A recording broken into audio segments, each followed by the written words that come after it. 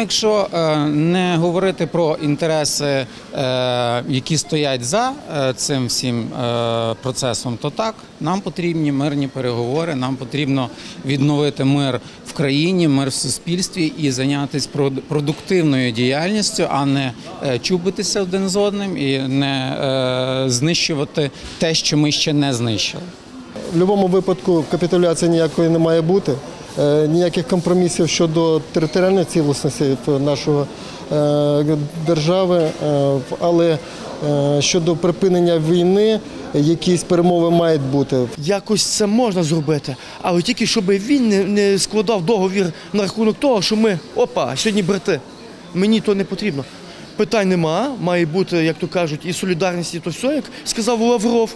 Каже, ми міняємо всіх на всіх, бо ми християни. Да, питань нема. Е, має бути якась логіка в тому. Але я би не хотів е, з ними нічого мати спільного. В будь-якій війні, як би не було, люди шукають компроміс, правда?